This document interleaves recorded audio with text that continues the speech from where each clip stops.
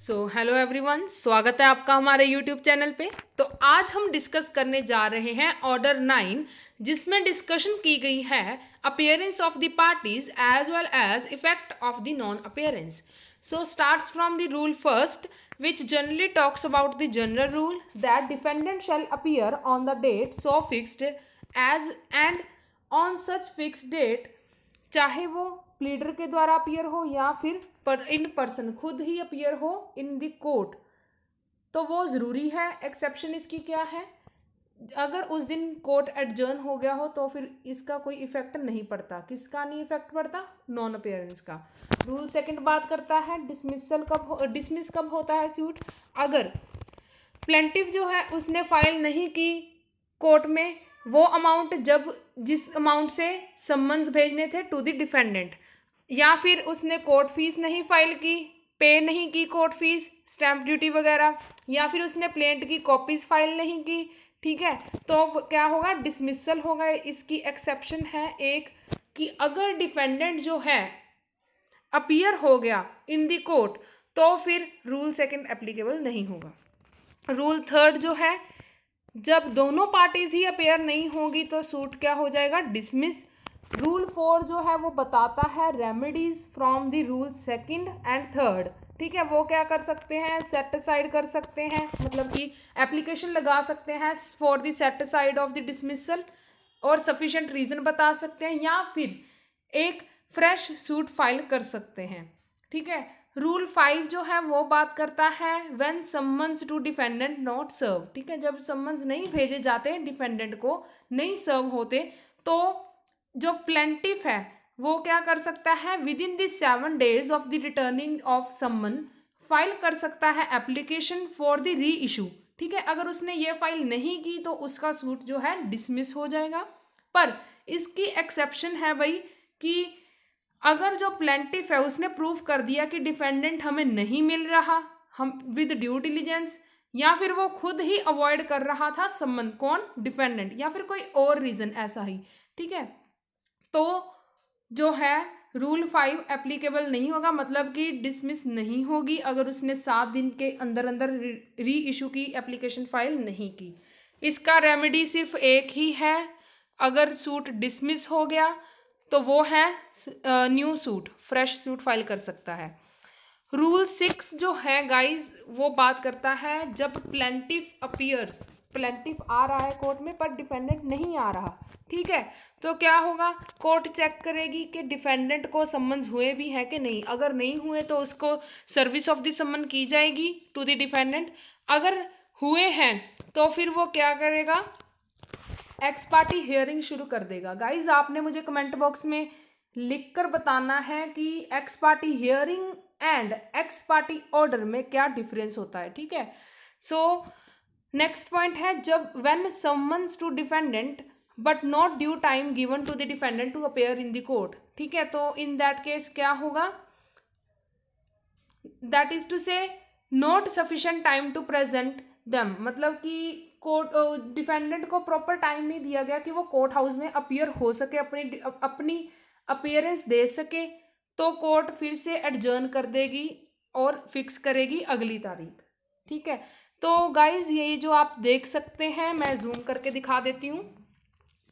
ओंकार सिंह वाला जो केस है, ओंकार सिंह वर्सेज अंग्रेज़ सिंह, ये जनरली डील करता है ऑर्डर नाइन के साथ। वो हम आगे डिस्कस करने जा रहे हैं।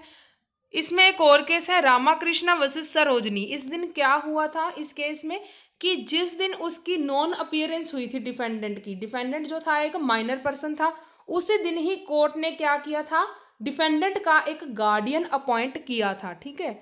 तो क्या होगा? उसका एक वैलिड रीज़न मान लिया जाएगा for the non appearance of the defendant और एक्स पार्टी हियरिंग शुरू नहीं होगी ठीक है? सो so, आगे हम गाइस डिस्कस करने जा रहे हैं rule seven when defendant appears on before और डेट फिक्स्ड बाय एडजर्नमेंट ठीक है? अगर डिफेंडेंट उस दिन या फिर उस दिन से पहले अपियर हो गया और उसने सफिशेंट रीज़न बता दिया for the non appearance satisfaction भी कर दी कोर्ट की तो कोर्ट क्या कर सकता है? Order as to cost allow कर सकता है उसकी अपेयरेंस को और ये मानेगा कोर्ट कि वो अपियर हो रहा है फ्रॉम दी फ़र्स्ट डे ठीक है रूल एट बात करता है, जब डिफेंडेंट जो है अपियर हो रहा है पर प्लेंटिफ अपियर नहीं हो रहा तो इसमें क्या है? डिसमिस हो जाएगा सूट इसकी। एक्सेप्शन है। अगर डिफेंडेंट ने एडमिट कर लिया कोई भी क्लेम ठीक है, या फिर any part of the claim या फिर for the interest of the justice तो सूट नहीं होगा डिसमिस रूल नाइन बात करता है कि अगर जो डिसमिस हुआ है केस सूट अंडर रूल ना एट तो bar to file fresh suit ठीक है। रेमेडी फिर क्या होगी? Application for the set aside of the dismissal sufficient cause बताकर, ठीक है? ओंकार सिंह वर्सेस अंग्रेज़ सिंह का केस था, हमने पीछे भी डिस्कस किया है कि इस केस में क्या था? पॉलिटिकल लीडर था एक, उसकी एब्सेंस होगी मतलब वो अपियर नहीं हुआ as a defendant in the suit क्यों? क्योंकि वो उस दिन एक रैली में था, ठीक है? तो कोर्ट ने कहा कि ये एक वैलिड रीज़न नहीं है तो हम सूट डिसमिस ही सो सॉरी सो हम एक्स पार्टी जो है हियरिंग शुरू कर दे, कर देंगे, ठीक है? तो रूल टेन है, अगर एक से ज़्यादा प्लेंटिफ है और उनमें से कुछ अपियर हो रहे हैं तो कोर्ट क्या करेगा? ये मानेगा कि सारे ही अपेयर हो रहे हैं सेम बात करता है रूल इलेवन पर वो है डिफेंडेंट्स के लिए। रूल ट्वेल्व है when personal appearance of the part is required पर वो अपेयर नहीं हो रहे। अपने प्लीडर के साथ वो एक सफिशेंट रीज़न दे रहे हैं, ठीक है? तो उनका भी ऐसा ही माना जाएगा, जैसा कि रूल टेन या इलेवन में हो कि वो अपेयर हो रहे हैं, ठीक है? सो so गाइज़ अब हम डिस्कस करने जा रहे हैं मोस्ट इंपॉर्टेंट टॉपिक आप इस पर स्टार लगा लीजिए, ठीक है? रूल थर्टीन ये आता ही है हर हर एक एग्जामिनेशन में, ठीक है? प्री में भी बहुत से क्वेश्चन बनते हैं इससे। ठीक है कि सीधा पूछ लेते हैं एक्स पार्टी जो डिग्री सेटिसाइड की एप्लीकेशन है वो कौन से ऑर्डर और रूल के तहत लगती है ठीक है? सो so, ध्यान से सुने। आज की वीडियो शायद लंबी हो जाए पर आप इस वीडियो को ज़रूर देखें। एक्स पार्टी डिग्री सेटिसाइड कब होती है ठीक है? रूल थर्टीन यही बात करता है। मतलब कि अगर डिफेंडेंट की एब्सेंस से कोर्ट ने एक्स पार्टी डिग्री पास कर दी ठीक है? तो उसकी एप्लीकेशन जो है, किसके लिए? उस डिग्री को रद्द करने के लिए। सेट साइड की जो एप्लीकेशन है, उसके प्रोसीजर की बात की गई है रूल थर्टीन में। मीनिंग क्या है? Decree passed in absentia of party ठीक है? प्रोसीजर है application to court for the set aside satisfaction होनी चाहिए कोर्ट की, कि कौन से रीजंस जैसे कि उसको सम्मन सर्व नहीं हुए या फिर वो ड्यू डिलीजेंस अपियर नहीं हो पाया। ठीक है? तो ये सब मतलब उसको प्रूव करना होगा कि मुझे सम्मन नहीं सर्व हुए या फिर मैंने पूरी कोशिश की आने की पर मैं अपीयर नहीं हो पाया। तब ही कोर्ट जो है वो application for the set aside को अलाउ करेगी। ठीक है? केस है बेनी बाई वर्सेस चंपा बाई इस केस में क्या था गाइस ध्यान से सुनना कि एक इलिटरेट वूमेन थी। ठीक है? किसी गाँव में थी और उसका जो एडवोकेट था उसने बताया नहीं उसे कि तेरी तारीख है आज के दिन। ठीक है? कोई सूट चल रहा था तो कोर्ट ने क्या किया? Ex parte decree ex parte sorry hearing जो है कंटिन्यू कर दी। शुरुआत कर दी उसकी और एक्स पार्टी डिग्री पास कर दी against him sorry against her तो क्या होगा? तो कोर्ट ने क्या कहा? कोर्ट ने कहा कि ये तो उस लेडी की गलती नहीं है, ये सिर्फ़ और सिर्फ़ उस एडवोकेट की गलती है। तो हम for the interest of the justice allow कर रहे हैं इस सेट साइड की एप्लीकेशन को, ठीक है? लिमिटेशन एक्ट पीरियड में जो लिमिटेशन एक्ट में जो लिमिटेशन पीरियड है एप्लीकेशन फ़ाइल करने का for the side of the ex parte decree वो है थर्टी डेज़ एंड कोर्ट अपनी power under section one hundred and fifty one inherent power अपनी एक्सरसाइज कर सकता है, ठीक है? पर सिर्फ़ तब जब कोर्ट की सेटिस्फेक्शन हो। अब गाइज़ इसकी प्रोवाइजो जो है फ़र्स्ट वो थोड़ी सी टेक्निकल है थोड़ा सा ध्यान से सुने, ठीक है? प्रोवाइजो सेकंड थोड़ी सी ठीक है, पर वन थोड़ी सी टेक्निकल है, आसान है बहुत ज़्यादा, ठीक है?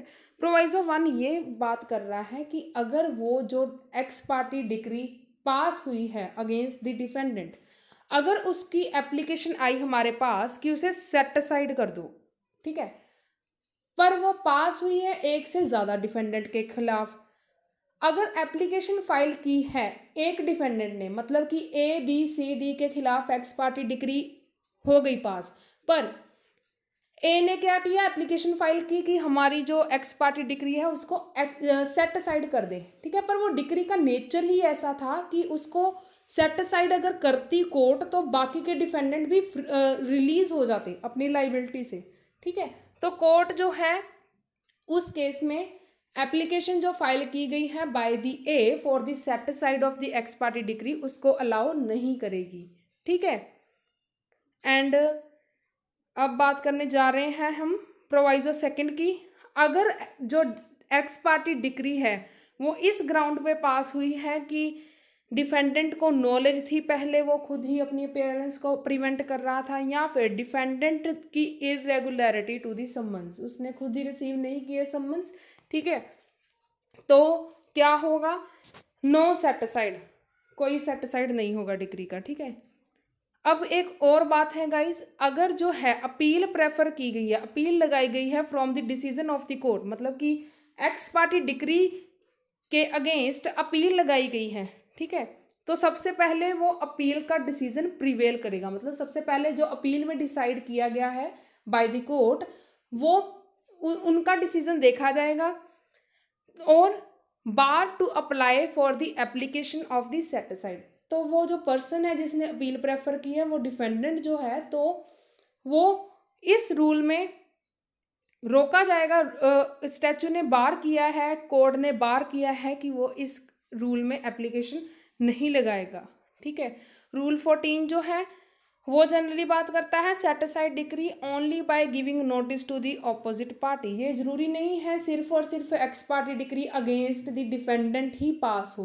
दोनों पार्टीज़ के अगेंस्ट हो सकती है प्लेंटिफ के अगेंस्ट भी पास हो सकती है, पर अगर प्लेंटिफ के अगेंस्ट पास हुई तो डिफेंडेंट को नोटिस जाएगा। अगर डिफेंडेंट के अगेंस्ट पास हुई तो प्लेंटिफ प्लेंटिफ को नोटिस जाएगा, ठीक है? अब और राइट्स क्या है? Right to the party appeal prefer कर सकते हैं वो, जैसे कि हमने ऊपर देखा, ठीक है? रिव्यू फ़ाइल कर सकते हैं, उस, और सेट साइड की एप्लीकेशन तो हमने पहले ही डिस्कस कर लिया, और fresh suit so guys I hope आपको हमारी आज की वीडियो बहुत पसंद आई होगी, क्योंकि आज की वीडियो का जो कंसेप्ट है, वो बहुत ही ज़्यादा इम्पोर्टेंट है, ठीक है? बहुत पूछा जाता है ये एग्ज़ाम्स में।